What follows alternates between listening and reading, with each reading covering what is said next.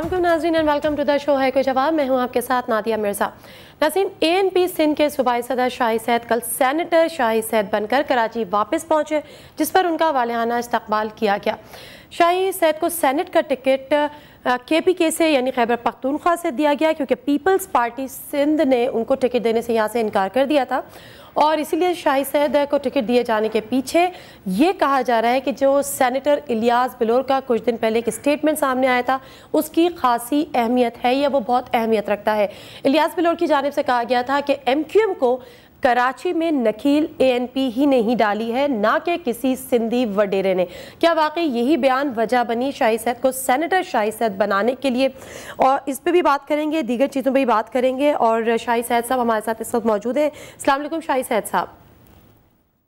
وعلیکم السلام۔ شاہی سید صاحب سب سے پہلے تو مبارکباد آپ کو سینیٹر بننے کی۔ خیر مبارک۔ ٹھیک ہے۔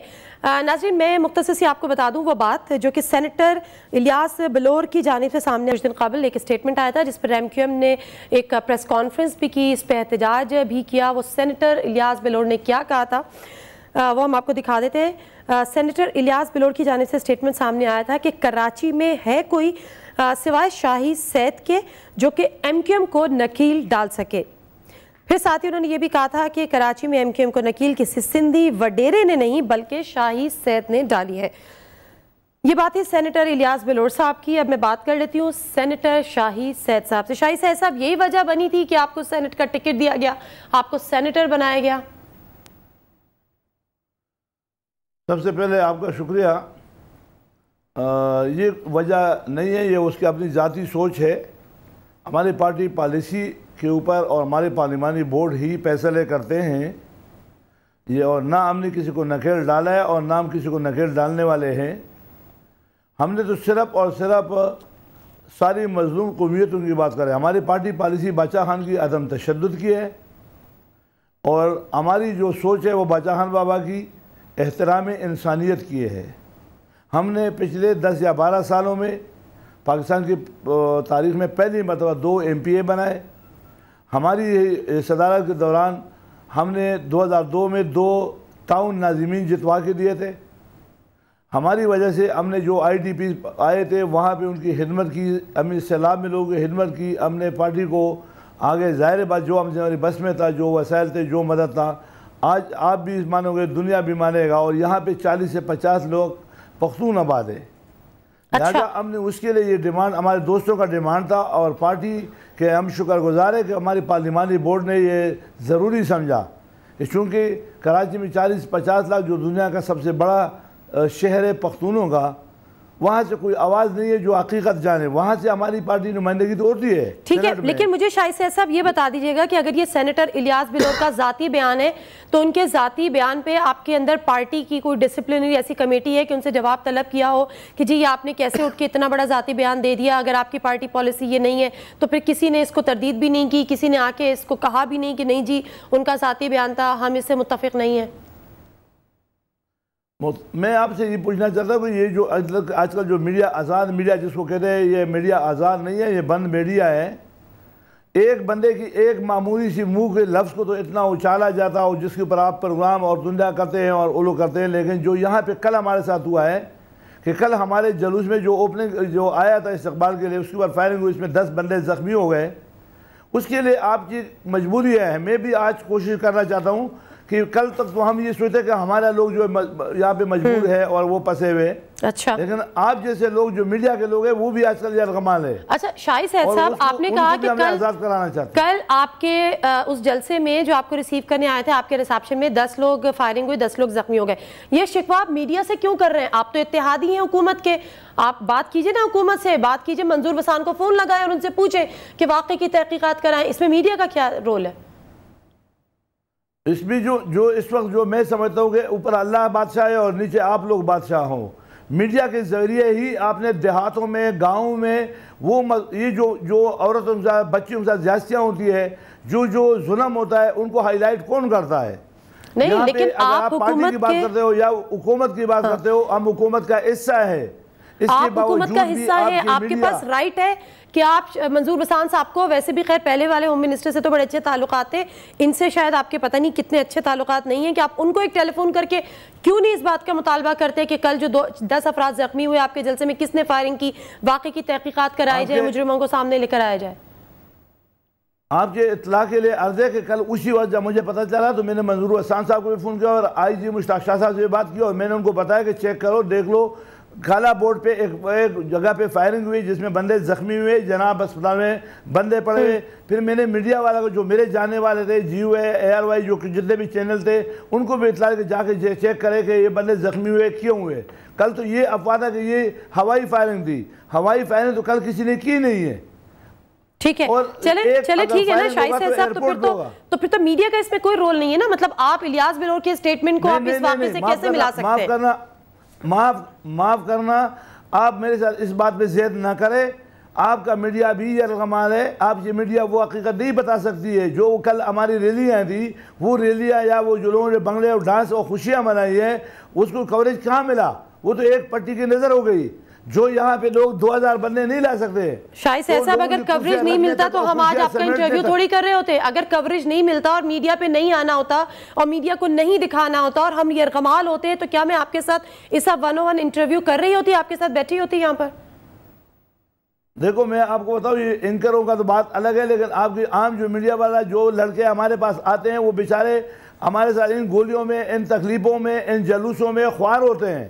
وہ اتنی کوریج کرتے ہیں کہ ہمارے سامنے تو وہ بیچارے قربانی کے بکرے بن جاتے ہیں۔ لیکن جب آپ کے پاس آتا ہے آپ کے ڈیسک والا جو نیوز والا ہوتا ہے وہ چاہے کسی بھی چینل کا ہو اس میں سے ایک پٹی چلا لی ہو کہانی ختم۔ اس بیچارے نے جو دن بھر تکلیف اٹھائی ہوتی ہے ہمیں اس کی تکلیف آپ یہ کہہ رہے ہیں کہ سارا کے سارا میڈیا بائسڈ ہے یا پھر یرغمال بنا ہوا ہے؟ میں میں بالکل جو میرا سوچ ہے میرا سوچ غلط ہو سکتا ہے خدا کرے میری سوچ غلط ہو جائے۔ اور کس کے ہاتھوں یرغمال بنا ہوا ہے؟ میں ہی چاہتا ہوں۔ میں وہ آپ کو بھی معلوم ہے مجھے بھی معلوم ہے اگر میں نام لوں گا تو تم بھی کچھ نہیں کر سکتے ہو میں بھی کچھ نہیں کر سکتا نہیں تو میں تو یہ مانتی نہیں کہ یرغمال بنا ہوا ہے نا شاہی سید صاحب۔ اگر آپ کہتے ہیں یرغمال بنا ہوا ہے تو پھر آپ یہ بھی ذمہ داری اٹھائیں کہ بتائیں کس کا یرغمال بنا ہوا ہے۔ اگر آپ مطمئن ہیں اور آپ خوش ہیں تو میں بھی مطمئن ہوں میں بھی خوش ہوں۔ مجھے بھی کوئی خاص ضرورت نہیں ہے۔ میں اپنی ذات سے آزاد ہوں۔ اچھا ٹھیک ہے۔ آج تک خدا کے فضل سے جو بات میرے دل پہ آتا ہے میں وہ بول جاتا ہوں کوئی سنے یا نہ سنے خدا تو سن رہا ہے۔ اچھا ٹھیک ہے۔ شاہی صاحب صاحب، ہم ذرا پبلک سے اپنے ویور سے وہ بات بھی شیئر کریں جو کل اپنے واپسی پہ کچھ مطالبات بھی کیے، کچھ باتیں بھی کی، جن میں سیدھا سیدھا باتیں یہ تھیں کہ جب آپ واپس آئے سینیٹر شاہی صاحب، تو آپ نے جو کل بات کی، جو اس ریلی سے خطاب کیا، اس میں آپ نے کہا کہ کوئی بھی ایک تنظیم کراچی پر اپنا تسلط برقرار نہیں رکھ سکتی۔ پھر آپ نے کہا کہ کراچی کسی ایک تنظیم کا نہیں، سب کا ہے۔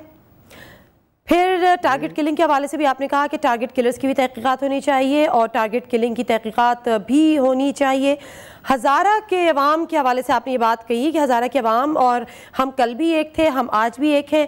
بابا حیدر زمان خیبر پختونخوا جا کر صوبہ بنائیں، کراچی میں یہ چیزیں نہ کریں۔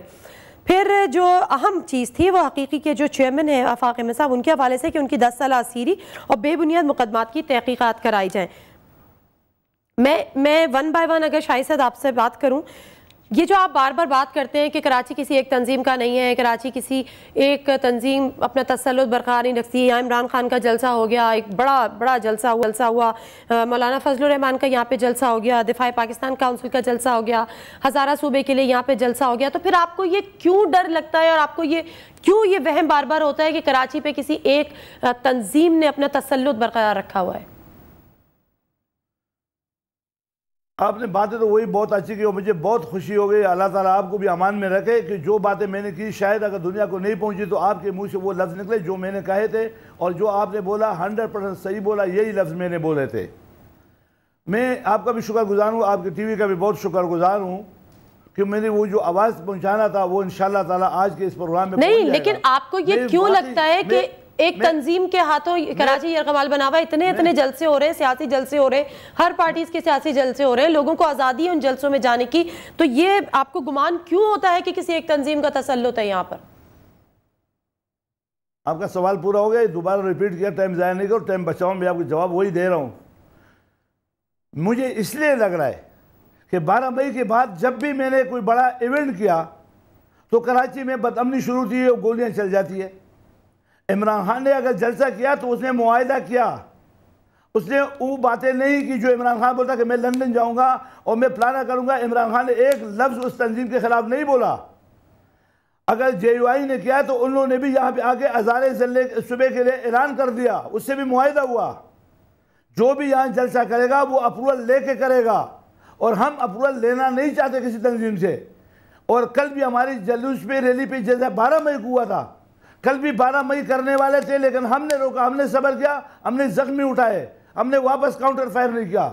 اور دوسری اور بڑی اچھی ثبوت، میرا پروگرام تھا اتوار کے دن، چھٹی کے دن، تاکہ کراچی کے عوام کو تکلیف نہ ہو، چھٹی کے دن میں کراچی پہنچوں گا اور میں اپنا پروگرام کروں گا اور میرے استقبال ہو جائے گا۔ حیدر زمان بابا کو پتہ نہیں کہاں سے کون لایا اور اس نے اسی دن قائد اعظم کے مزار کے اوپر جلسے کا پروگرام رکھا۔ اب اگر اسی چار بجے ان کا پروگرام چار بجے میرا پروگرام چار بجے ان کا جلوس آئے گا چار بجے میرا جلوس آئے گا۔ ہزارے وال اور ہم آپس میں بائی تے ہیں اور رہیں گے لیکن کوئی قوت ہمیں لڑانا چاہتے تھے کہ ہم اس دن دونوں جلوس ہم نے سامنے ہو جائے اور ایک بارہ مئی پھر دہرائی جائے۔ اچھا۔ لہذا ہم نے اپنا آنا کینسل کیا۔ سنو ہم نے آنا کینسل کیا اور ہم نے ایک دن بعد اس دن لگا پھر کے دن کل کے دن جو کہ کل ورکنگ ڈے تھا۔ لوگوں کو میری وجہ سے کل تکلیف ہوئی ہے روڈ جام ہوئے کیوں ہوئے؟ اس لیے کہ میں اچھا تو آپ آپ شاہی صاحب یہ کہہ رہے ہیں کہ ایک اور پلان کیا گیا تھا ایک اور بارہ میں پلان کیا گیا تھا کیونکہ آپ کا اور ہزارہ والوں کا جلسہ ایک ہی دن ہو ریلی ایک ہی دن ہو اور پھر ایک اور بارہ مئی ہو۔ بالکل یہ تھا اچھا اور کراچی میں اگر کسی کو جلسہ کرنا ہے شاہی صاحب صاحب کراچی میں اگر کسی کو جلسہ کرنا ہے تو اس کو پہلے ایم کیو ایم کا اپروول چاہیے ہوگا۔ عمران خان نے بھی ایم کیو ایم سے اپروول لیا مولانا فضل الرحمان نے بھی اپروول لیا۔